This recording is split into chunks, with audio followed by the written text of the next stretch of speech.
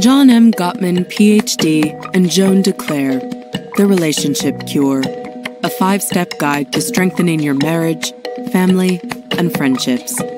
Narrated by Oliver Maines and Amanda Marr.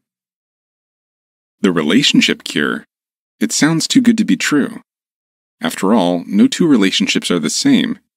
Even insofar as we can generalize about them, they fall into many different categories.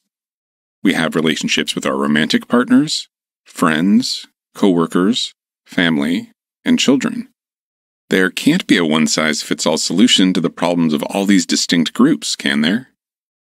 Well, yes and no. There definitely isn't a magic pill that will fix your relationships in one fell swoop. But there are some general strategies you can learn to help you deal with them better. How to use these strategies varies from relationship to relationship and from issue to issue, but the underlying principles are the same, and they all stem from the research and ideas you're about to discover.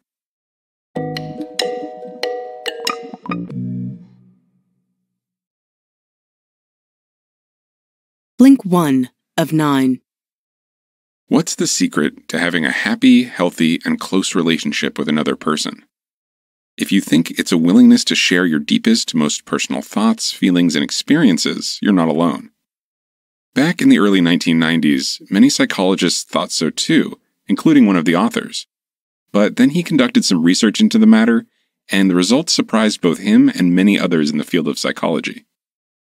The key message here is people don't form close relationships by simply opening up to each other. In 1990, research psychologist Dr. John Gottman and his colleagues at the University of Washington set up an unusual scientific research center. They called it the Love Lab. On the inside, it looked like a normal studio apartment with a kitchen, dining area, hideaway bed, TV, and waterfront views of a canal. Over the following year, they invited 60 married couples to spend a weekend in this cozy setting. Each couple was given one simple instruction live life as you normally would. Of course, there was a catch. The apartment was fitted out with four surveillance cameras and a two way mirror, behind which observers watched the couples for 12 hours a day. The participants were also rigged with microphones and body sensors that watched for symptoms of stress, like increases in heart rate or levels of sweat. Dr. Gottman collected hundreds of hours of video footage showing the couple's everyday interactions in minute detail. He then reviewed the tape, searching for examples of partners baring their souls to one another. But though he looked and looked, he hardly found any instances of what psychologists call self disclosure. Instead, most conversations went like this Honey, can you grab me a cup of coffee? Yes, dear. Or, Hey, check out this comic strip. Shh, I'm trying to read. Pretty mundane stuff, right? That's what Dr. Gottman thought too. In fact, he feared the whole experiment had been a waste of time. But then, after reviewing the footage for a few months, he noticed something. The key to forming close relationships was staring him in the face right there in all those banal conversations. What mattered wasn't so much what the couples were talking about, but how they were talking about it to each other. And it's a lesson that applies to all relationships, whether romantic or otherwise. Blink 2 of 9. A wife asking her husband to get her a cup of coffee doesn't seem like the stuff of great relationship drama. But put yourself in the position of the wife for a moment. Imagine that instead of saying, Sure, honey, your husband responded by snapping, Go get it yourself. Do you feel the difference?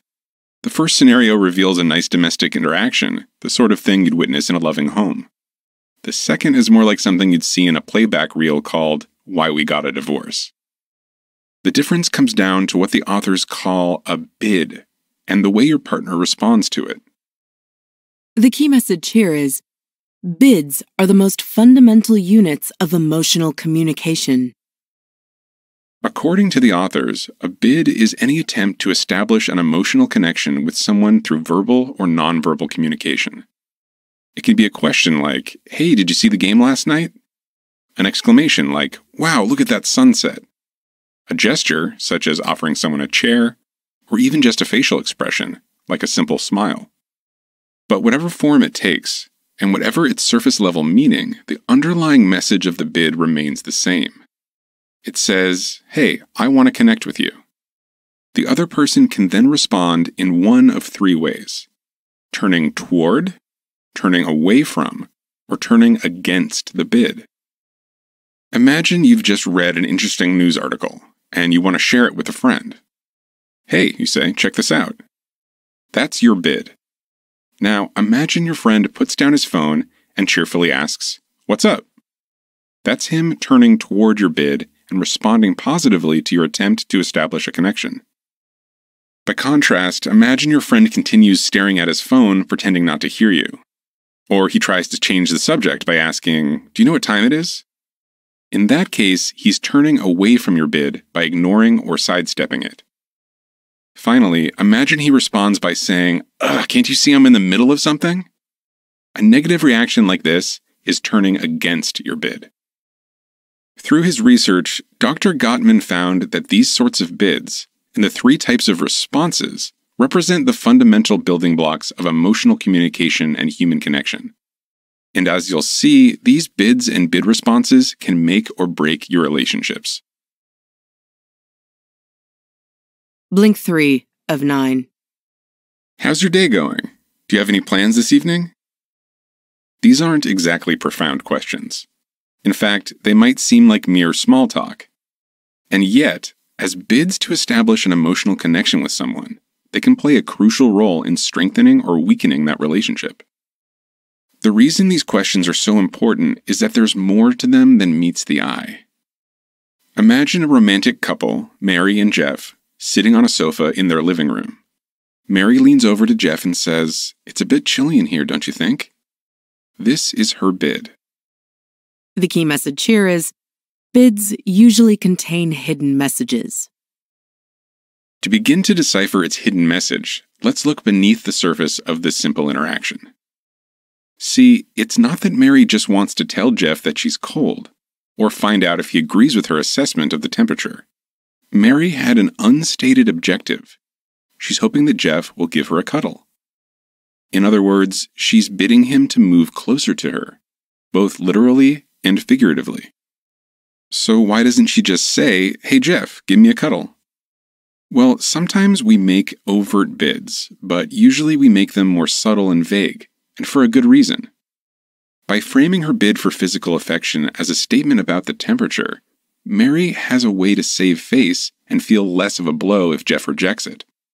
Imagine if she says, Give me a cuddle, and Jeff replies bluntly, No, I'm not in the mood. Ouch. On the other hand, if he responds by tossing her a blanket, well, she's not getting what she really wants. But at least she's getting something positive in return, and it's a heck of a lot better than outright rejection. Mary is also giving Jeff a way to smoothly decline her bid. Even if he knows she probably wants a cuddle, he doesn't have to go through the awkwardness of saying no if he'd rather keep to himself. He can choose to interpret Mary's statement literally and respond accordingly.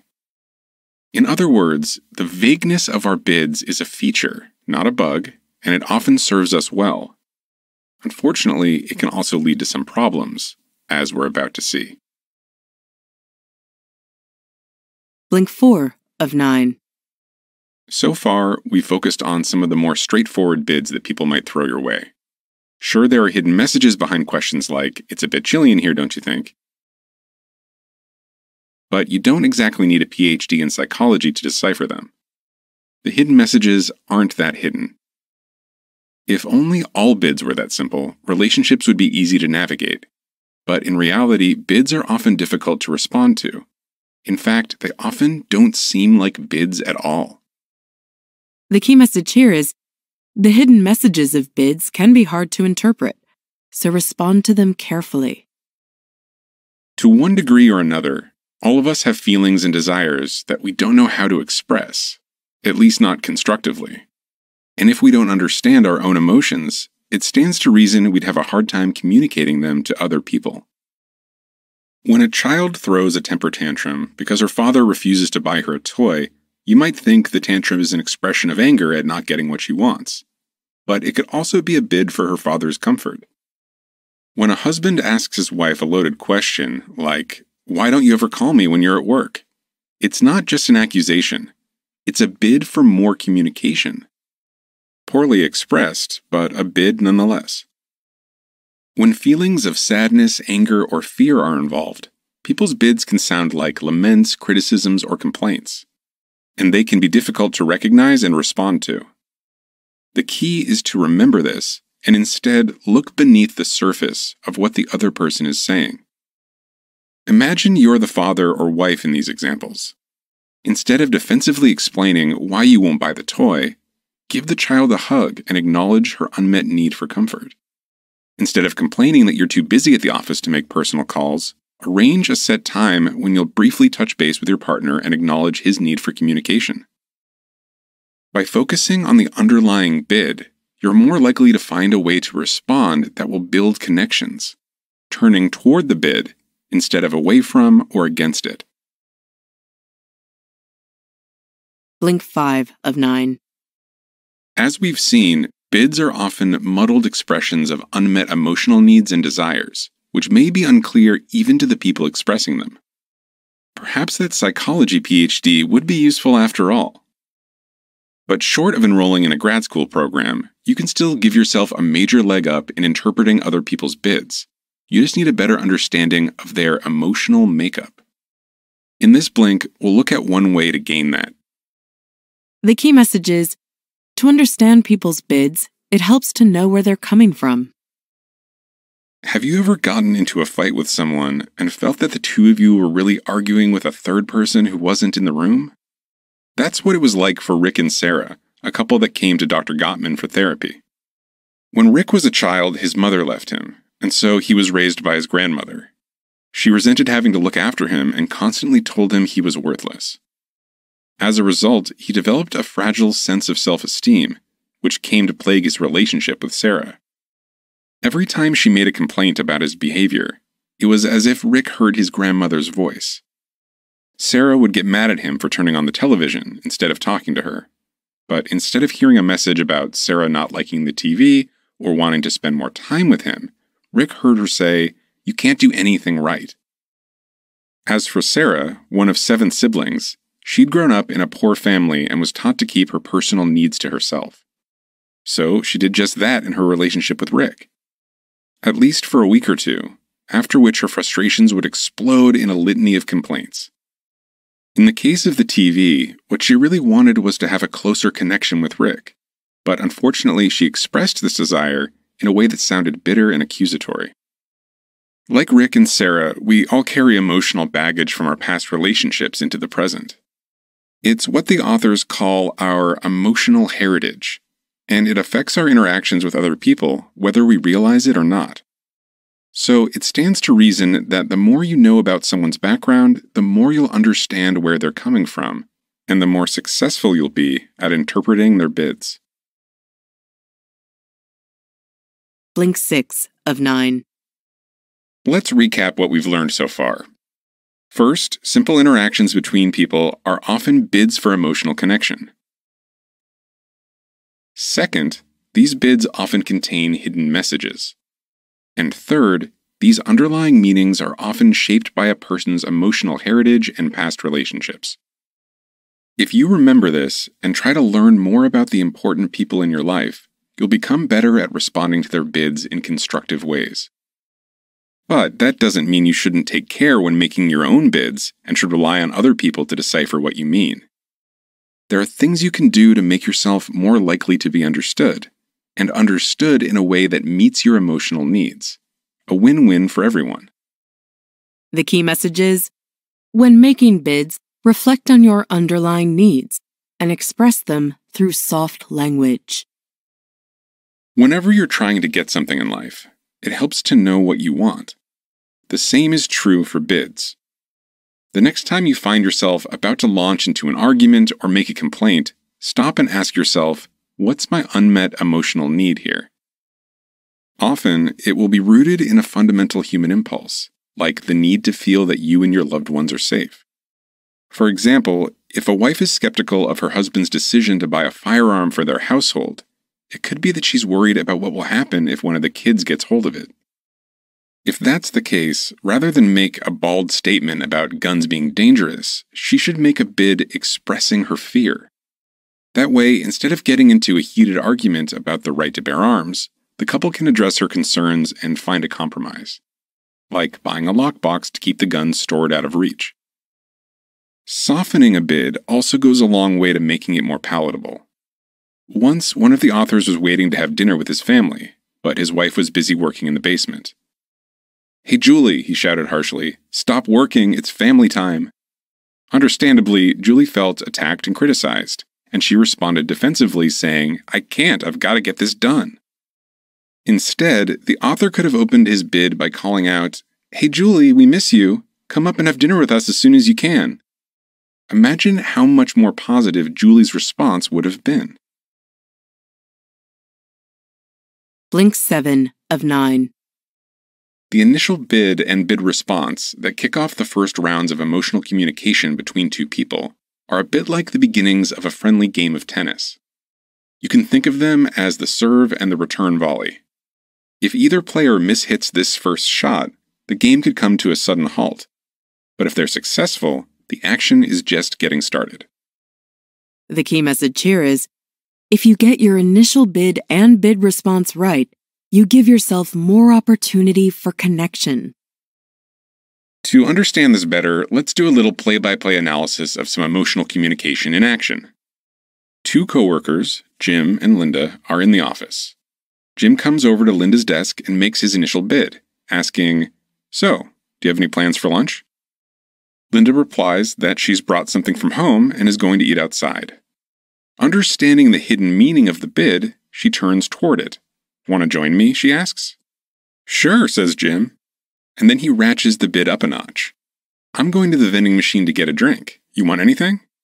Yeah, maybe a Coke, Linda replies, turning toward Jim's bid once again. Oh, and I'll find those photos I told you about. I want to show them to you. Great, says Jim. I'd love to see them. Notice how the positive responses build on each other, bringing Jim and Linda closer together. Now, let's see what might happen if, instead, Linda turns against Jim's initial bid. Have any plans for lunch? Jim asks. Lunch in this office? Who's got the time? Linda snaps, continuing to stare at her computer screen and leaving poor Jim crestfallen. At this point, Jim might mumble something about having lunch together another time, and Linda might respond with a short, yeah, sure. But for all intents and purposes, the communication between them is over, as is any chance to connect. Meanwhile, in a parallel universe, the earlier versions of Jim and Linda are sitting on a park bench, laughing at photos of her dog and building a relationship. We've said it before, but it bears repeating. There's a lot more to bids than first meets the eye. The way they are made and responded to can make a huge difference in how relationships unfold. Blink 8 of 9. Uh oh, you might be thinking. Does this mean I have to accept every lunch invitation that comes my way? It sounds like if I decline a bid or even just fail to pick up on one, I'll be potentially damaging my relationships and pushing people away from me. Don't worry, the situation is far less extreme than that. Fortunately, you can still turn toward other people's bids and build connections with them, while at the same time declining the requests you're unwilling, unable, or simply uninterested in accepting. It all comes down to how you respond. The key message here is you don't have to accept a bid at face value to respond positively. Let's go back to Jim and Linda and their lunch plans. In this version, it turns out Linda really doesn't have time to take a break today so she can't accept Jim's bid at face value. That is, as an invitation to have lunch together on this particular day. But that doesn't mean she can't respond positively and turn toward the bid. Oh, I'd really love to have lunch with you, she could say, but I'm so swamped with work right now. Maybe tomorrow? Or we could grab a coffee and catch up after work? Notice how Linda affirms her desire to connect with Jim, even while she declines this particular opportunity. She also offers some alternative ways for them to connect. In other words, instead of shutting the metaphorical door between them with blunt rejection, she leaves it open and calls Jim closer. Jim can now carry on with his bid, agreeing to one of her alternatives and building on his initial overture. For instance, he could offer to bring her something to eat, giving her more time to power through that mountain of work. The same lesson applies to any bid that asks you to do something that you can't or simply don't want to do. Instead of worrying about accepting it at face value, or saying no and damaging your relationship, use the opportunity to reassure the other person of your desire to connect. Remember the game of tennis from earlier? Saying no in this way is what allows you to keep the ball of friendly communication in the air and flying back and forth across the net. Blink 9 of 9. Think back to your most recent interactions with the people in your life. Did you turn toward, away from, or against someone's bid? Whatever your response, don't lose too much sleep over it. Whether you react to a bid positively or negatively, a one off exchange won't save or destroy your relationship. Relationships get built up or worn down over time through many bids and bid responses. But your actions do add up, so while one harsh word probably won't do much harm, don't fall into the habit of harshness. The key message is our patterns of responding to people's bids can have a big impact on our relationships in the long run. If a relationship is marked by a pattern of one member or both members responding negatively to the other, they're likely to drift apart. If the pattern is positive, they'll tend to become closer. There are a couple reasons for this. First, turning toward each other's bids leads to more opportunities to connect, while turning away or against them does the opposite. As we saw with Jim and Linda, it can spell the difference between having or not having that lunch with your coworker. Second, just as bids convey hidden messages, so too do our responses to them. If you turn toward a bid, you're implicitly saying, I value you, I like spending time with you. But if you turn away from or against a bid, you're potentially sending unintended messages like, I don't appreciate you, or I want to hurt you. Put these messages on repeat, and eventually you'll have a pattern that sinks into the other person's mind as a reflection of how you feel about them. If it's positive, they'll feel a lot of goodwill toward you, which can help when you come up against conflicts. But if it's especially negative, they might end up feeling like you hate them and give up on making bids for connection altogether. After all, what's the point? It should come as no surprise, then, that a pattern of negative bid responses is a strong predictor of marital problems. According to the author's research, in heterosexual marriages headed toward divorce, husbands negatively react to their wives' bids for connection an astounding 82% of the time. In stable marriages, that figure drops to a mere 19%. So, no, you don't have to get things right all the time, but most of the time is definitely a goal worth aiming for.